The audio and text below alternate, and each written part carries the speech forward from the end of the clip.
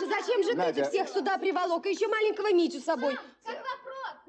Подожди, это что, Отстань от меня твои? с вопросами. Не нужны мне Надь. никакие цитаты. Надя, Юра, Это бери т- давай маленьких и я спускайтесь спрашиваю, отсюда. Вы сейчас это все... твои? Тити, Мои. твои? Да. Что, все твои? Мгм, все.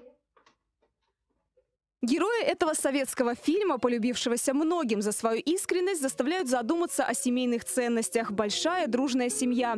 Вот то, чем можно и нужно гордиться, то, ради чего стоит жить. Многодетной маме Марине Шпаковой очень близки и заботы, и радости главной героини киноленты. В принципе, и тяжело, и в то же время я без этого жизнь свою не представляю другой.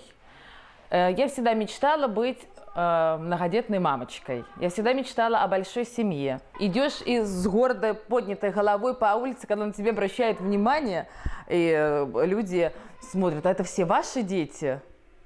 Наши, а чьи еще? Дети – это наша радость. Заживешь в этой заботе, заживешь в радости, говорит Марина. И ничего страшного, что нет ни одной свободной минутки. Вот и сейчас, даже для интервью. Ваня, а Вань, сыночка, иди стань с той стороны, они сейчас будут специально тебя донимать. У нас война, два старших, два младших, у нас...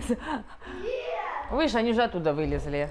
Двойняшки Андрей и Максим самые маленькие в этой большой семье. Мечтали о дочке, но судьба подарила двух озорных мальчишек, рассказывает Марина. Теперь в семье семеро человек. Настоящая семья. Мама, папа и пятеро детей. Ваня у нас второй год занимается хоккеем. Вот, и на выходных у них первенство было. Приезжали э, откуда, Вань?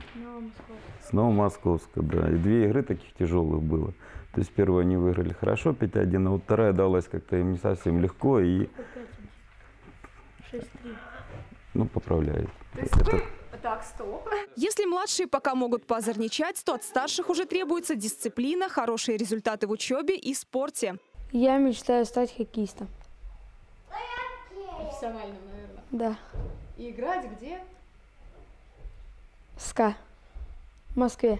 Вместе радоваться успехам, вместе решать любые трудности, по праздникам собираться за одним столом. Все это хорошие семейные традиции. Пироги, сладости и душевные разговоры. В этот раз вместе с близкими родственниками. Бабушка рассказывает, что с удовольствием помогает в воспитании внуков и будет рада пополнению. Она хочет, конечно, девочку, вот еще одну. Ну, я говорю, это уже, как говорится, как Господь даст. Скажи одно единственное.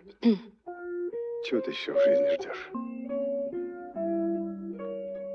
Я жду ребенка.